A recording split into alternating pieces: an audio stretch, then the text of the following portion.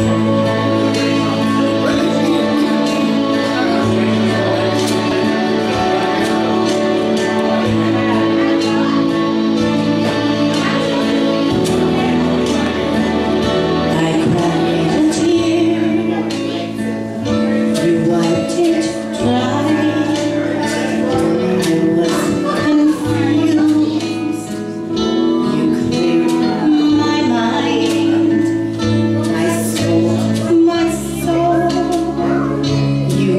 it back for me. And held